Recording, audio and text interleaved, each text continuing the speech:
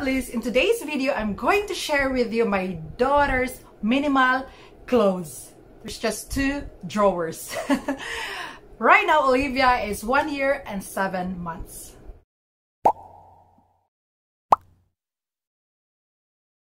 Her clothes is just right here.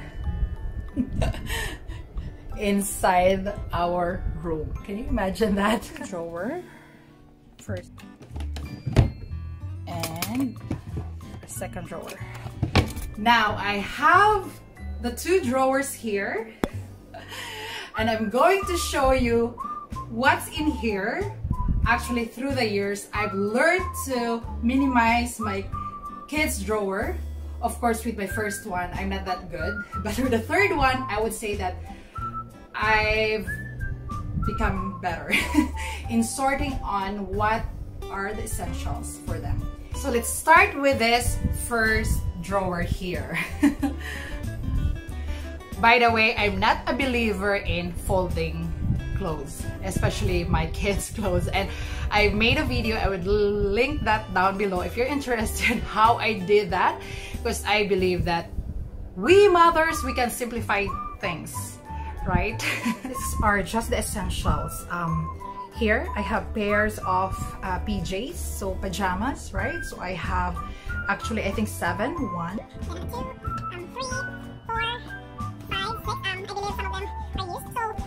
after I, I got them from the draw, dryer, I just I just do like that, like fold it, them together, like this one, and put it in one row. How efficient, right? And since I do laundry once or twice a week, I think that the maximum PJs my kids or specifically my almost two-year-old Olivia um, is just like seven maximum. She doesn't need lots. It will just add to the clutter and too much work for me. so moving on, the next pile here are like um, like pants so and you know what? Uh, these are just hand-me-down from older sister or some of them from uh, marketplace um, thrift store. I mean you don't need to buy expensive clothes for your kids. Um, there's a better way of using that money. So I have one, two, three, four, five, six here. For pants. So uh, right now it's summer here in Alberta, Canada. So I have um, cozy and soft pants for her.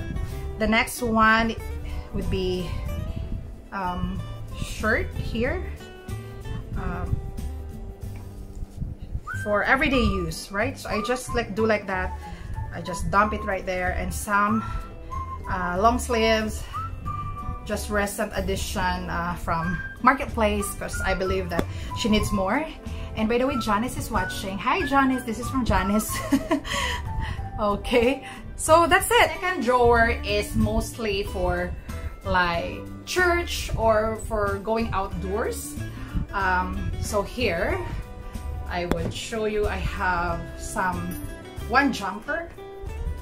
So, and then this one's jacket. Um, that's pretty from Marketplace. And I have two jacket here. I actually will take this away and bring this to our mud room so to give room to this one. And then a couple of dresses right? Everyday dress and for church. So I have seven. So seven dresses right there. And I have some socks here that I grouped together. How many? Three pairs four five, six, and then three underwears because I don't need much. Uh, my daughter is wearing cloth diaper in, during the day and um, disposable diaper during the night.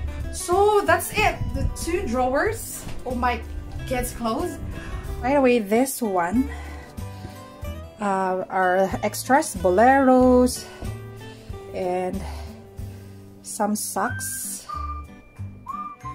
so unpaired socks that I keep together be hoping that I will find some pairs in the near future so yeah I just put them in one big crumb like this.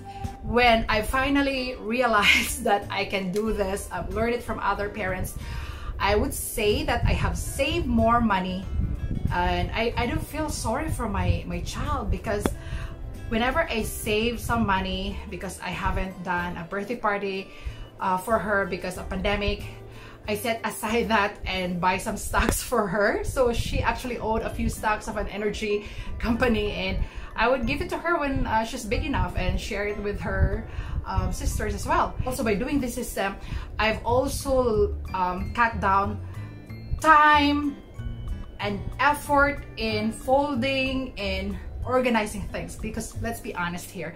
If you got lots of clothes then you have to spend more time and energy in organizing them.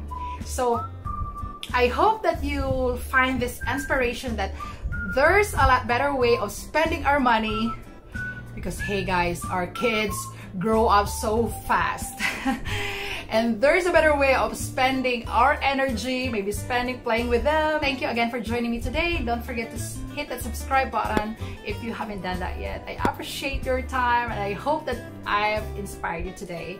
Until my next one. Bye